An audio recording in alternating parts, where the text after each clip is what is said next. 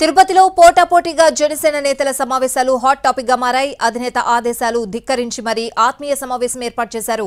Kiran royal స్థానిక జనసేన శ్రేణులతో సమావేశమయ్యారు. అటు తన వర్గంతో ఆత్మీయ సమావేశం ఏర్పాటు చేశారు జనసేన అభ్యర్థి ఆరణి శ్రీనివాసులు.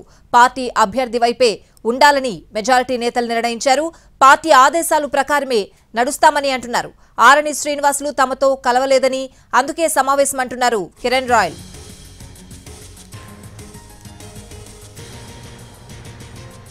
తిరుపతిలో పోటాపోటీగా జనసేన నేతల సమావేశాలు ప్రస్తుతం హాట్ టాపిక్గా మారాయి. పూర్తి అప్డేట్స్ అడిగి తెలుసుకుందాం మా ప్రతినిధి కార్తీక్ లైవ్లో ఉన్నారు. Karthik.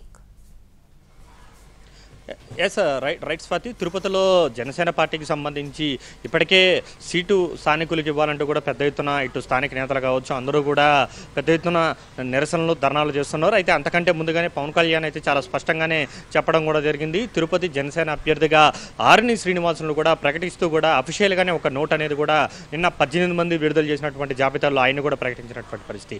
అయినప్పటికీ కూడా తిరుపతిలో ఉన్నటువంటి ఇన్ఛార్జ్గా ఉన్నటువంటి కిరణ్ రాయ్ అధినేత ఆదేశాలను ధిక్కరిస్తూ కూడా ఈరోజు ఆత్మీయ సమావేశాన్ని అనేది కూడా కొద్దిసేపటి క్రితమే ఒక ప్రైవేట్ హోటల్లో అనేది కూడా పెట్టుకోవడం కూడా జరిగింది. దీనికి స్థానికంగా ఉన్నటువంటి యాభై డివిజన్లో ఉన్నటువంటి వారందరినీ కూడా అధ్యక్షులుగా ఎవరైతే వార్డుల్లో ఉంటారో వాళ్ళందరినీ కూడా పిలవడం కూడా జరిగింది. అయితే దానికి ధీటుగా కూడా అభ్యర్థిగా ఉన్నటువంటి ఆర్ని శ్రీనివాసులు సైతం ఎన్జీవీ ఆఫీస్లోని జనసేన పార్టీ కార్యాలయంలో ఆయన కూడా అక్కడ ఉన్నటువంటి వారందరినీ కూడా ఎవరైతే స్థానిక నేతలు ఎవరైతే ఉంటారో వారందరితో పాటు కలిసి ఒక ఆత్మీయ సమావేశం అనేది కూడా ఏర్పాటు చేయడం కూడా జరిగింది. ఇలా పోటాపోటీగా నేతలు ఇద్దరు కూడా ఆత్మీయ సమావేశాన్ని అయితే తిరుపతిలో నిర్వహించడంతో ఇటు జనసేన పార్టీకి సంబంధించినటువంటి శ్రేణులు మాత్రం ఎటు వెళ్ళాలనేది కూడా అర్థం కాని పరిస్థితుల్లో ఉన్నారు. అయితే కొద్దిమంది మాత్రం అదే అధినేత ఏదైతే ఆదేశాలు జారీ చేశారో అభ్యర్థిగా ఎవరినైతే ప్రకటించారో ఆయన వెంటే ఉండాలంటూ కూడా ఒక నిర్ణయం అయితే తీసుకోవడం కూడా జరిగింది. దీంతో మెజారిటీ నేతలందరూ కూడా ఆరణి శ్రీనివాసులు నిర్వహిస్తున్నటువంటి ఆత్మీయ సమావేశానికి వెళ్ళినట్టుగా కూడా తెలుస్తుంది. మరొకవైపు ఎవరైతే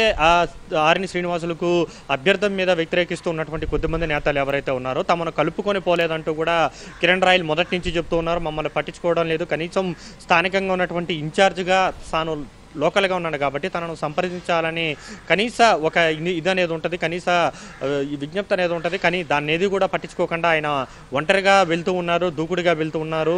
ఇది పార్టీకి ఇబ్బందికరమైనటువంటి పరిస్థితులు ఉంటాయి. తమతో పాటు ఇన్నాళ్ళు నడిచినటువంటి కేడర్ ఎటువేళలో కూడా తెలియనటువంటి పరిస్థితి ఉంటుంది కాబట్టి ఖచ్చితంగా మాతో అందరితో కలుపుకుని పోయేటువంటి వ్యక్తికే తాము మద్దతు ఇస్తామంటూ కూడా ఆత్మీయ సమావేశాన్ని కిరణ్ రాయలు కూడా ఏర్పాటు చేసుకోవడం కూడా జరిగింది. అయితే ఈ సమావేశంలో ఎవరు ఎలాంటి వ్యాఖ్యలు చేస్తారనేది కూడా చాలా ఆసక్తికరంగా మారింది